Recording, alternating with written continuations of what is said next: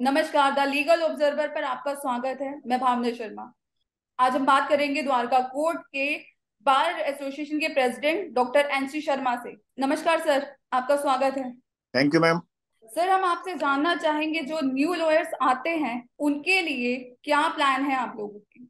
देखिए new lawyers जो आते हैं उनको सबसे पहले ज़रूरत पड़ती है यहाँ की अवेयरनेस की प्रोसेस की अवेयरनेस की और लीगली प्रोसेस संबंधी। उसके लिए हम लोग सेमिनार बार बार अपने बार एसोसिएशन की तरफ़ से भी जिसमें एक्सपर्ट्स को बुलाते हैं रिटायर्ड जजेस को बुलाते हैं हम सेमिनार अरेंज कराते हैं उन बच्चों के लिए जो नए नए एडवोकेट्स खास कराते हैं। जैसे अभी का पास आउट बैच है उस वो आएगा इंटर्नशिप के लिए बेसिकली आते हैं सबसे पहले। तो उनको बहुत प्रॉब्लम फेस करनी पड़ती है तो उनको इस चीज़ें कंफर्ट हो जाए उसके लिए क्या कर? नहीं देखिए पास जो पास आउट हो जाता है उसको इंटर्नशिप की ज़रूरत नहीं पड़ती। वो आते हैं सारे जूनियरशिप के लिए। जो पास आउट नहीं होते जो फाइनल ईयर या फाइनल ईयर से एक आध सेमेस्टर पहले होते हैं वो लोग इंटर्नशिप के लिए आते हैं। तो जो इंटर्नशिप के लिए आते हैं उनके लिए तो फाइलें होती हैं कोर्ट प्रोसेस होता है कोर्ट प्रोसीजर होता है। वो लोग साथ साथ रह के और वॉच करते हैं फाइलें पढ़ते हैं कुछ देखते हैं प्रोसीडिंग्स देखते हैं उससे वो लोग सीखते हैं। लेकिन जो पास आउट होके आते हैं कहीं ना कहीं किसी न किसी कंपनी को किसी न किसी एसोसिएट को ज्वाइन कर लेते हैं।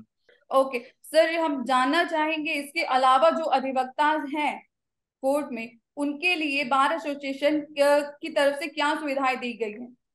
देखिए, मैडम, बार एसोसिएशन के पास बड़ी लिमिटेड सुविधाएँ होती हैं, जैसे पहले चैम्बर लॉट किए गए सीटें लॉट की गई, आजकल पॉजिटिव का स्पेस है। इतना स्पेस अवेलेबल नहीं है कि जितने लोग आ रहे हैं, अभी इस साल जो है आपको हैरानी होगी कि जो एनरोलमेंट हुए हैं बार काउंसिल ऑफ़ दिल्ली में more than sixteen thousand advocates enrolled हुए हैं। तो मोर देन सिक्सटीन थाउज़ेंड के लिए अगर मान लीजिए इन कोर्ट कॉम्प्लेक्स में करें तो एक कोर्ट कॉम्प्लेक्स के अंदर तीन हज़ार से ज़्यादा बच्चे आते हैं। और तीन हज़ार से ज़्यादा बच्चों को अगर सबको सिटिंग और स्पेस और चैम्बर अवेलेबल कराना कहीं भी पॉसिबल नहीं है। बल्कि जो लोग ऑलरेडी एनरोल्ड हैं, जिनके पास पाँच सात सात, दस दस साल हो गए हैं, उनको भी अभी चैम्बर अलॉटमेंट में नंबर नहीं आया है। तो सबसे बड़ी जो यहाँ पे प्रॉब्लम आ रही है वो है कि स्पेस अवेलेबल नहीं है डिस्ट्रिक्ट कोर्स में। सर, इसी से जोड़ते हुए एक और सवाल पूछूँगी। कि इन्हीं के साथ कौन सी ऐसी कॉमन प्रॉब्लम है जो डेली में आती है? देखिए डेली में जो प्रॉब्लम आती है मेनली तो एक बाइफर्केशन के बाद जो कोर्ट कॉम्प्लेक्सेस बन गए हैं, उसकी वजह से वकील को जो कभी इधर भागना पड़ रहा है, कभी उधर भागना पड़ रहा है, फिर वहाँ से कुछ कोर्ट हैं अकोमोडेट कर लेती हैं, कुछ नहीं करते। तो सबसे बड़ा तो बाइफर्केशन के बाद जो कोर्ट कॉम्प्लेक्सेस में अलग अलग भागना पड़ता है, वो सबसे बड़ी परेशानी है। फिर जैसे अभी वीसी से शुरू हो गया है वीडियो कॉन्फ्रेंस से शुरू हुआ है, जहाँ परमिशन लेके वीसी से करते हैं तो वहाँ कनेक्टिविटी की प्रॉब्लम आती है। कोर्ट कॉम्प्लेक्सेस के अंदर कनेक्टिविटी की प्रॉब्लम बहुत ज़्यादा है। जैसे हम लोगों के यहाँ द्वारका के अंदर थी तो द्वारका के अंदर अभी हम लोगों ने प्रोसेस चालू कर रखा है। इसी महीने, इसी वीक में शुरू हो जाएगा। हम लोगों ने पाँच छह नए कनेक्शन जियो के ओर लगवा के यहाँ कनेक्टिविटी की सुविधा थोड़ी सी बेटर की है। ताकि लोगों को परेशानी ना हो। इसी से जुड़ा हुआ एक और क्वेश्चन है कि कोविड की हम सुन रहे हैं कि फिर से हो सकता है कि चीज़ें लॉकडाउन लग जाए हो सकता है कि फिर से चीज़ें वैसे ही पहुँच जाए। तो वही उसको लेकर जो आप वीडियो कॉन्फ्रेंसिंग की बात कर रहे थे मैं उसी को लेकर पूछूँगी कितनी तैयारी है? उसके लिए हम लोगों ने आप ये देख लीजिए कि पूरे कोर्ट कॉम्प्लेक्स में जो हमारा चैम्बर ब्लॉक है उस चैम्बर ब्लॉक में कंप्लीट लाइनिंग बिछवा दिया हर एक फ्लोर पे। और हर एक फ्लोर पे पाँच पाँच छह छह कनेक्शन उसके चालू कर दिए वाईफाई के। साथ में आ, जो इनका अपना बूस्टर होता है वो भी लगवा दिए हैं। तो इस बारी जो है ये परेशानी नहीं कनेक्टिविटी की हमारे द्वारका में तो हम आने नहीं देंगे। सर जो क्लाइंट्स आते हैं आप लोगों के उनकी उनके लिए क्या व्यवस्था है? जैसे क्लाइंट्स के लिए क्या व्यवस्था क्लाइंट मतलब? के लिए क्योंकि आते हैं जगह ही नहीं होती है जैसा कि आप बता रहे हैं। तो एक भीड़ भाड़ प्रॉपर स्पेस है। क्लाइंट के लिए प्रॉपर स्पेस है। प्रॉब्लम है तो उस एडवोकेट को है जिसके लिए सिटिंग स्पेस नहीं है जो अपने क्लाइंट्स को डील करने के लिए। उनके लिए हम लोगों ने यहाँ पे जो कॉन्फ्रेंस रूम्स अपने तैयार किए हैं जो वो एक नॉमिनल चार्जेस देके बार में जमा करा के और अपनी कॉन्फ्रेंस एक घंटे की दो घंटे की नॉमिनल चार्जेस देके वो वहाँ पे अपनी ये फैसिलिटी अवेल कर सकते हैं अपने क्लाइंट्स को डील कर सकते हैं। ओके सर मैं जानना चाहूँगी कि सबसे बड़ा चैलेंज क्या है? सबसे बड़ा चैलेंज मैंने बताया कि वो सबसे बड़ा चैलेंज सिटिंग स्पेस का है। जो चैम्बर्स अवेलेबल कराने का है मेंबर्स को, क्योंकि हमारे पास जितने भी कोर्ट कॉम्प्लेक्सेस हैं, उनमें इतनी स्पेस नहीं है कि इतने नए चैम्बर और जैसे हमारे यहाँ चैम्बर ब्लॉक शुरू होगा, उसके बावजूद भी इतने लोग लाइन पे हैं कि उनको सभी को नहीं दे पाएँगे।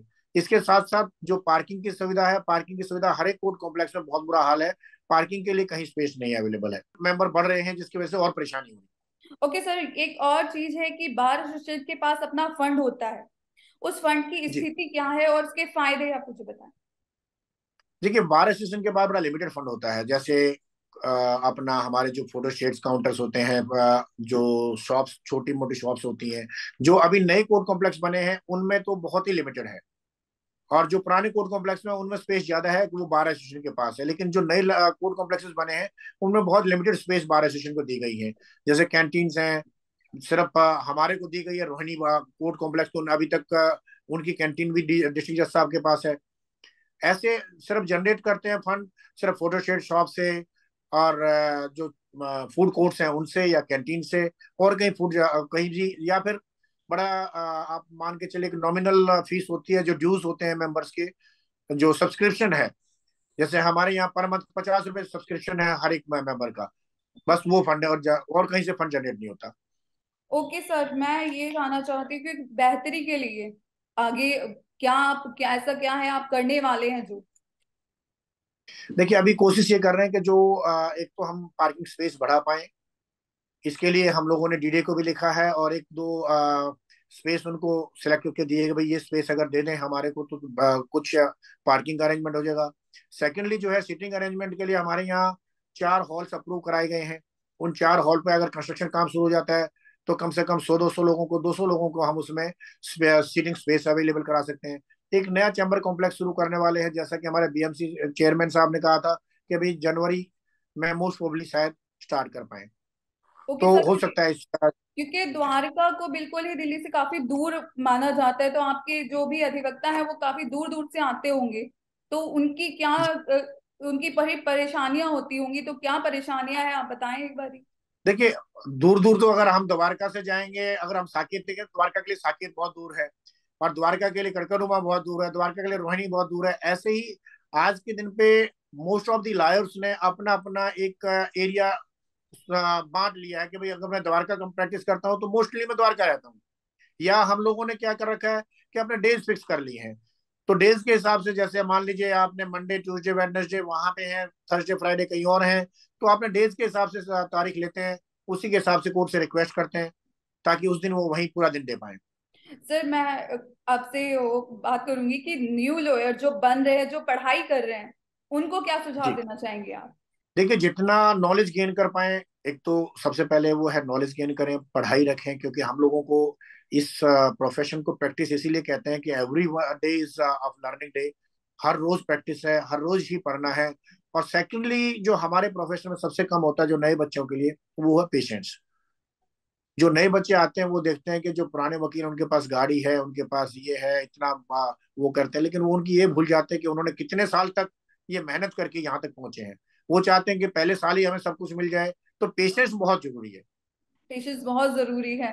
सर इसके अलावा भी क्योंकि बच्चों को आजकल लगता है कि हम जैसे ही पास आउट हुए तो हमें नौकरी मिल जाए या हम बिल्कुल सेटल हो जाए तो इस पे आप क्या कहना चाहिए ये शुरू में जैसे ही वो बिगनर होता है बिगनर में उनका बहुत ही कम पैकेज होता है बहुत कम अर्निंग होता है दे आर लाइक इंटर्न ऐसे ही हमारे प्रोफेशन में भी है कि कम से कम आप मान के चले अगर जो आदमी पाँच साल तक पेशेंस रख के और पाँच साल तक वो कर पाता है तो वो समझ लीजिए शायद एक सक्सेसफुल लायर बन जाता है अदरवाइज़ नहीं।